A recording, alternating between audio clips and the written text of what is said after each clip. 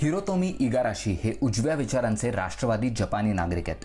ते म्हणतात जपानने स्वतःची अण्वस्त्र बनवण्याची वेळ आता आली आहे. सुमारे एक हजार कट्टर राष्ट्रवादी संघटनांच्या एका गटाचं ते प्रतिनिधित्व करतात.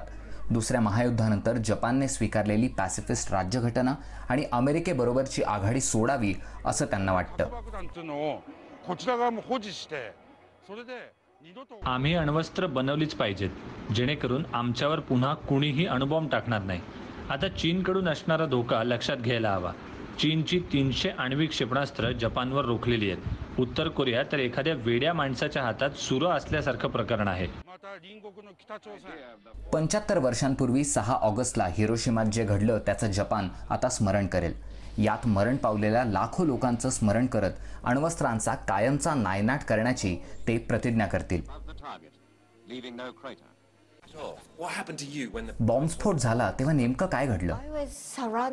त्र्याऐंशी वर्षांच्या केइको ओगुरा या हा विनाश स्वतःच्या डोळ्यांनी पाहून त्यातून वाचलेल्या काही मोजक्या लोकांपैकी एक आहेत. त्या म्हणतात की सरकत्या काळाबरोबरच जपानची स्वतःची अण्वस्त्र बनवण्याची इच्छाशक्ती कमी होत चालली आहे.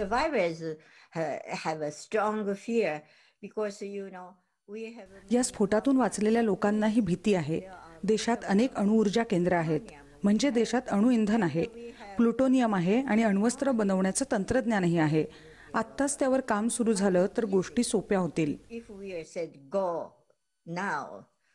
मनात आणलं तर जपान वेगाने अण्वस्त्र बनवू शकतो असं तज्ज्ञांना वाटतं. जपानकडे सत्तेचाळीस टन प्लुटोनियम आहे. अण्वस्त्र नसलेल्या इतर कुठल्याही देशापेक्षा हा साठा जास्त आहे. जपानने स्वतःचं संरक्षण स्वतःच केलं पाहिजे असं जाहीरपणे म्हणणारे दुसऱ्या महायुद्धानंतरच्या काळातले डॉनाल्ड ट्रम्प हे पहिले अमेरिकन राष्ट्राध्यक्ष आहेत.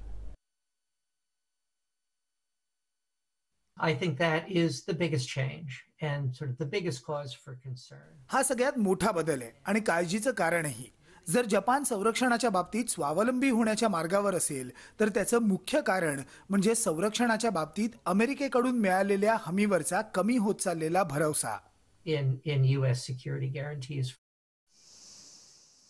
हिरोशिमातल्या घटनेनंतरची गेली पंच्याहत्तर वर्ष जपान अमेरिकेच्या संरक्षणाखाली वावरतोय अमेरिकेने इथून काढता पाय घेतला तर काय होईल याचा विचार आता जपान करतोय.